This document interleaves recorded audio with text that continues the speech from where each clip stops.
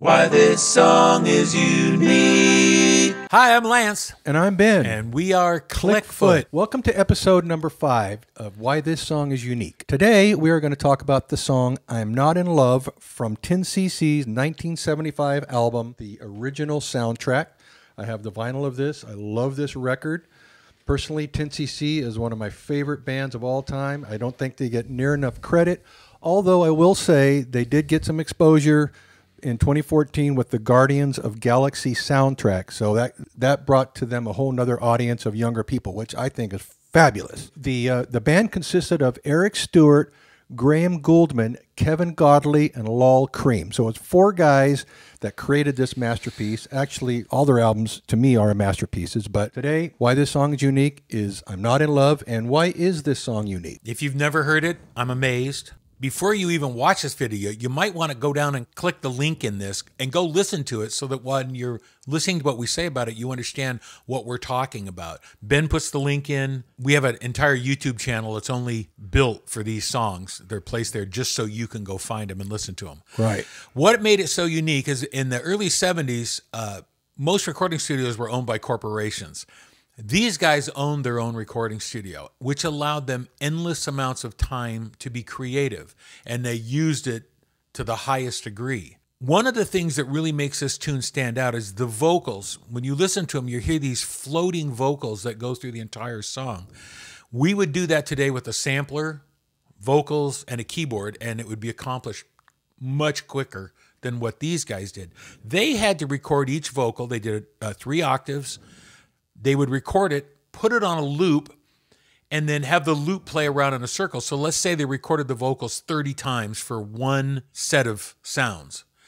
Then they put it on a tape machine, looped it, and then brought it back into the mixing console and used the sliders to slide that chord up and down.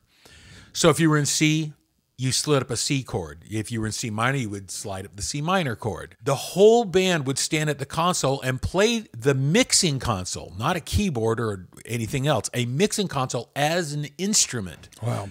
It was the keyboard. That's just bizarre. Nobody had ever done that. That's the first time that ever happened that somebody decided to do an entire song using a mixing console as the keyboard. Then what really made the song work, and that's why you hear these vocals, they sound so ghostly and, and floating. They did over 600 vocals to get those pad tracks that you're listening to in the song, which gives it such an ethereal dream quality. It can't be beat. It's just one of the most unique things you've ever heard. And then I think the trick of all tricks that they ever did was they went in to their offices and got their secretary and told her to come out and say these words into the microphone in a whispered voice. Shh, be quiet. Big, boys, don't cry. That, if anybody if you heard it the first time back in the 70s, we all went, What was that? I'll never forget that. Never heard anything like that. And uh, it's a hook all by itself. It's just a hook that everybody waits for.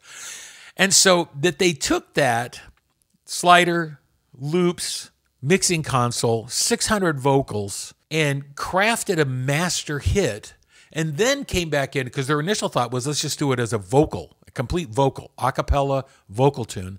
They came back and put a, a, a Rhodes electric piano, a bass, and a drum doing a very simple beat.